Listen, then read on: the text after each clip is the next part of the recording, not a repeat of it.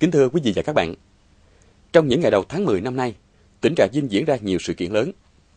Hòa cùng với không khí cả nước hân hoan mừng đại lễ 1.000 năm Thăng Long Hà Nội, chào mừng Đại hội Đảng bộ tỉnh Trà Vinh lần thứ 9 nhiệm kỳ 2010-2015 thành công tốt đẹp. Và ngày 13 tháng 10 vừa qua, lễ tôn vinh doanh nghiệp doanh nhân thật long trọng được Ủy ban nhân dân tỉnh Trà Vinh tổ chức nhân ngày doanh nhân Việt Nam 13 tháng 10 hàng năm. Trong chuyên mục diễn đàn doanh nghiệp hôm nay, kính mời quý vị và các bạn theo dõi phóng sự tỉnh Trà Vinh tôn vinh doanh nghiệp doanh nhân sản xuất kinh doanh giỏi. Dù thời tiết không thuận lợi trong đêm lễ tôn vinh doanh nghiệp doanh nhân, nhưng các doanh nghiệp doanh nhân vẫn đến thật đông đủ, cùng ngồi quay quần bên nhau trò chuyện, kể cho nhau nghe những câu chuyện vui, những thắng lợi trong hoạt động sản xuất kinh doanh của mình.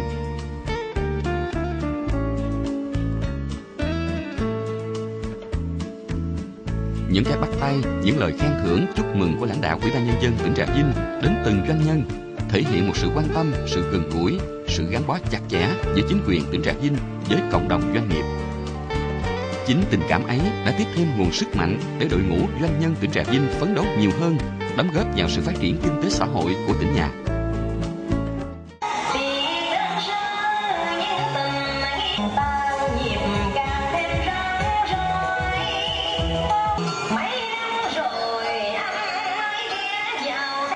Sau phần biểu diễn văn nghệ chào mừng của các nghệ sĩ, buổi lễ tôn vinh được bắt đầu với phần phát biểu khai mạc của ông Lê Sinh Đẹp, Chủ tịch Hiệp hội Doanh nghiệp tỉnh Trà Vinh.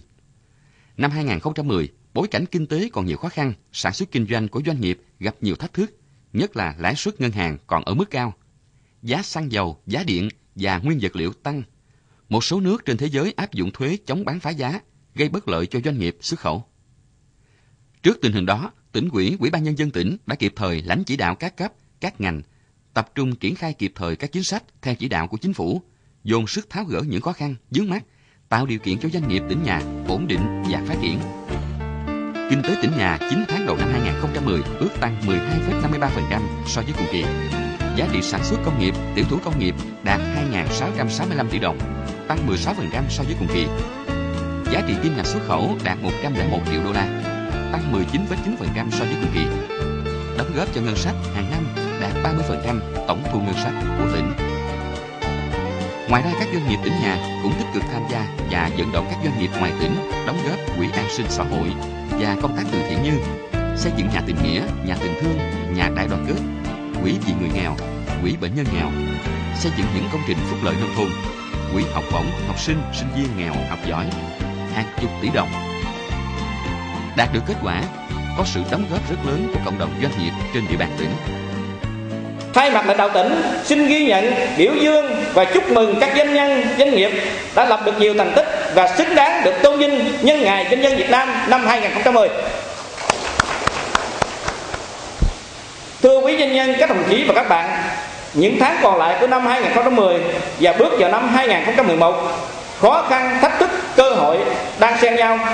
đối với doanh nghiệp cả nước nói chung và doanh nghiệp tỉnh Trà Vinh nói riêng, cuộc cạnh tranh trên thị trường ngày càng quyết liệt. Điều căn bản để đứng vững là doanh nghiệp phải hết lòng gắn kết phục vụ khách hàng liên kết để tạo sức mạnh tổng hợp. Các doanh nghiệp cần nỗ lực hơn nữa trong đầu tư đổi mới trang thiết bị hiện đại, chăm lo đội ngũ lao động, tự trang bị kiến thức quản lý, học hỏi những kinh nghiệm quý báu trong và ngoài nước nhằm tăng sức cạnh tranh để phát triển và hội nhập tỉnh ủy ủy ban nhân tỉnh mong rằng các doanh nhân với lòng nhiệt huyết, trí tuệ và bản lĩnh của mình vượt qua khó khăn, xây dựng đội ngũ doanh nhân chuyên nghiệp, có đầy đủ kỹ năng hướng đến phát triển bền vững. Tỉnh ủy ủy ban tỉnh và các sở ngành hữu quan cùng các địa phương, huyện và thành phố sẽ làm hết sức mình và tạo điều kiện thuận lợi cho các doanh nghiệp phát triển một cách bền vững.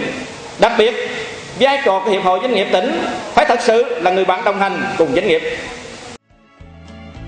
Về phát triển doanh nghiệp Tính đến tháng 9 năm 2010, trên địa bàn tỉnh Trà Vinh có 1.074 doanh nghiệp với tổng vốn đăng ký trên 6.686 tỷ đồng. Giải quyết việc làm cho trên 30.500 lao động, tăng gần 20% so với cùng kỳ. Đa số các doanh nghiệp sản xuất kinh doanh có hiệu quả, chấp hành tốt chính sách, pháp luật và nghĩa vụ đối với nhà nước. Năng lực sản xuất kinh doanh của doanh nghiệp luôn được quan tâm đầu tư